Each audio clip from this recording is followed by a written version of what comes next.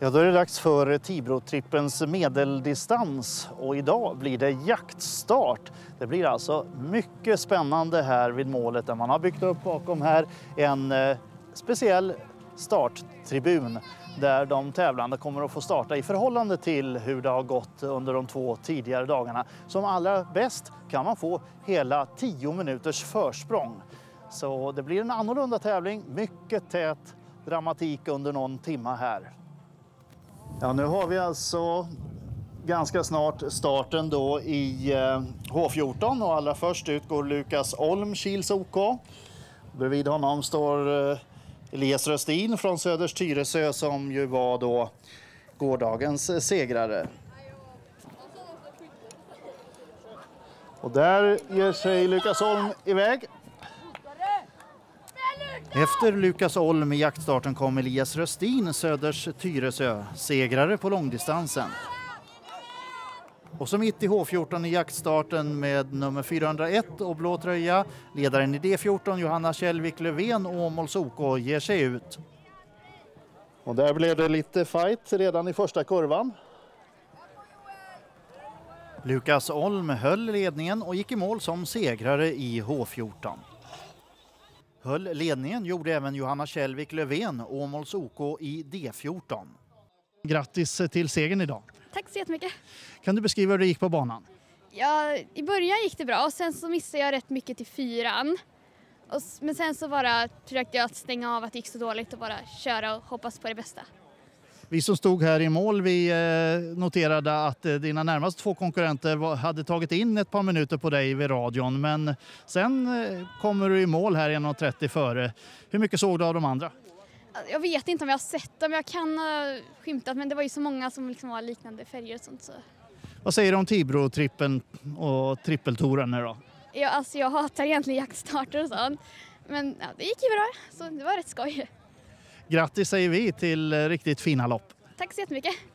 Johanna var en av de som sprungit till sig bonustider och därmed fått fördelen att starta före massstarten. Och många massstarter blev det. Här D16.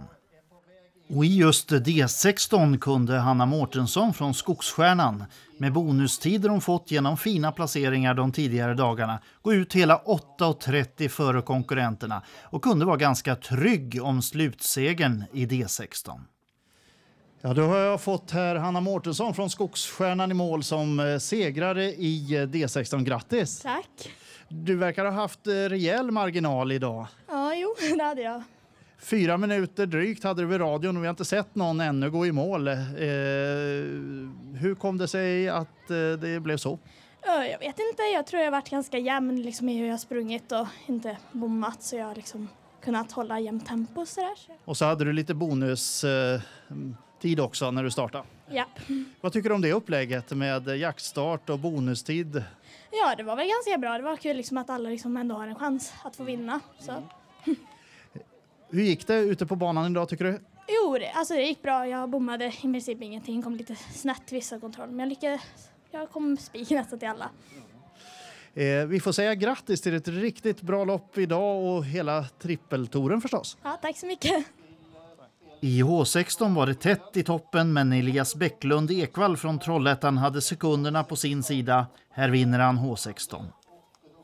Filip Jakobsson går ut som ledare i H18 hela 9.30 före jaktstarten och håller avståndet.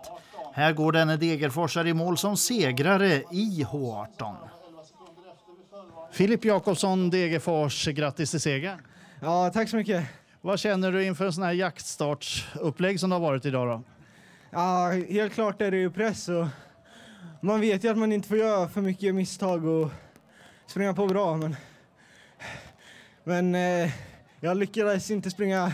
Jag gjorde en hel del bommar idag faktiskt. Det, var, det gjorde du? Ja, alltså. Jag är inte så jättenöjd över dagens lopp liksom. Om man säger så. Men ändå så räckte det till en seger. Vad var det som svårast idag då? Nej, jag tänkte jag läste lite fel på höjdkurvorna och hade inte så bra koll på kompassen idag. Så. Okej, men det räckte till en seger och vi säger grattis till dig. Ja, tack så mycket. Moa Pettersson, OK Dacke, gick ut med några minuters marginal till närmaste konkurrent i D18 och höll även hon ända in i mål. Samtidigt som regnet börjar komma här ute på Tibrotrippens eh, tävlingscentrum i en grusgrop så kommer Moa Pettersson in som segrare i D18. Du, såg du någon annan överhuvudtaget i din klass? kan du knappast ha gjort. Nej, jag har inte sett någon. Men eh, jag har trott att de ska komma ikapp för jag har småmissat vid många kontroller. Men eh, vi kunde se här nu att eh, marginalen är rejäl. Varför har det gått så bra i Tibrotrippen då? Eh, jag var noga med tekniken och gjort tre stabila lopp så jag tror det är därför. Behöver man ta det lugnt ibland kanske? Ja, in mot kontrollerna måste man läsa extra noggrant. För annars är det ganska snabbsprunget. En del säger att de har sprungit för fort eh, för att de har kommit in i en så snabbt tempo när det har varit enkelt och sen eh, sprungit för fort när det blivit svårare.